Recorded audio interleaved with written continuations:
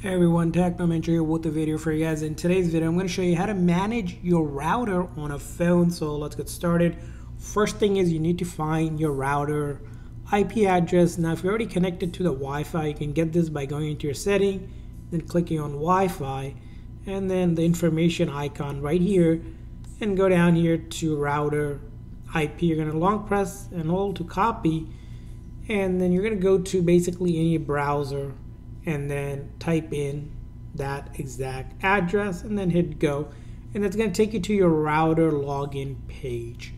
Now let's say you couldn't find this from your Wi-Fi. You can also search this up. Usually you can find the router login info directly from the router itself. So in the router you'll see a label that has the address and then the username and password to log in. So this page if you haven't set it up in the past you're going to need to go ahead and set that up from your router. Usually the username is going to be admin and the passwords might be like password, just something generic.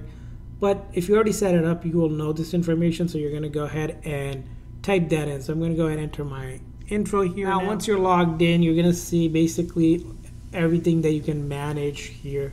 For example, you can manage things like your cable connection, wireless, any devices that you want to turn on off, your guest network, whatever you need to do.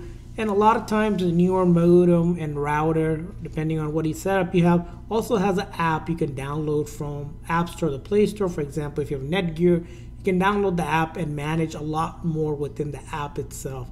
So the app will allow you to do a lot more actual lifetime uh, management. We can turn on on restrict certain things like YouTube, maybe turn off the internet at a certain time, which sometimes the, the web interface on the browser might not allow you to do.